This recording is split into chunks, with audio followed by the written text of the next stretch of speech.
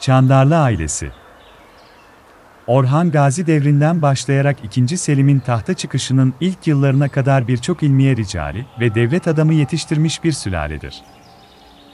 Mevcut şecerelere göre bu aile mensupları çeşitli kollar halinde zamanımıza kadar gelmiş, son devirlerde içlerinden bazıları mutasarrıf olarak görev yapmış, bir kısmı da İznik yöresinde ayanlıkta bulunmuştur.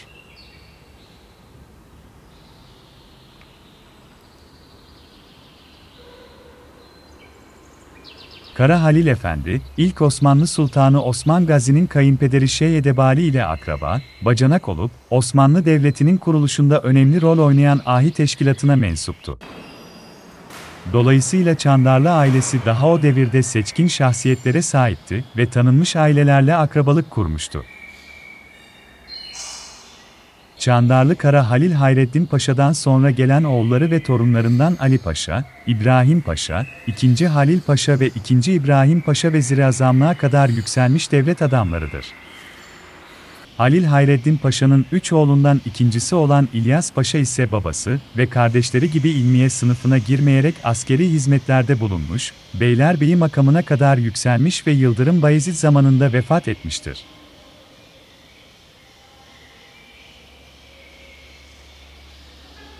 Fatih Sultan Mehmet tarafından idam ettirilen Çandarlı Halil Paşa, 2. Halil Paşa'dır. 1453 tarihinde İstanbul'un fethinden hemen sonra, rüşvet aldığı şeklindeki söylentiler ve İstanbul'un fethine karşı çıktığı gerekçesiyle Sultan Mehmet tarafından 30 Mayıs 1453'te azledildi ve çocuklarıyla birlikte tevkif olundu.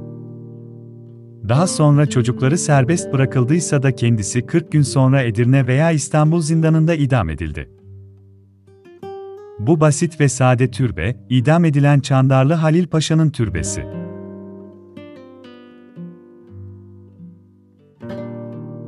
Çandarlı Halil Paşa, 1439 ile 1453 yılları arasında 14 sene boyunca Osmanlı'nın sadrazamlığını yapmıştır ve Osmanlı'da idam edilen ilk sadrazamdır.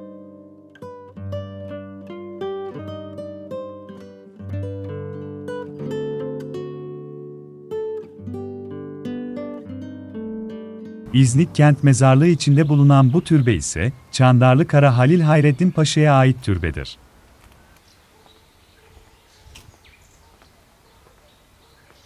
Farklı büyüklükte olan iki kubbeli mekandan oluşan bu türbenin doğu tarafındaki bölümde iki mermer lahit vardır. Bunlardan biri Çandarlı Halil Hayreddin Paşa'ya, yanındaki ise oğlu Ali Paşa'ya aittir. Türbenin batı mekanında ise yazısız 15 mezar bulunmaktadır.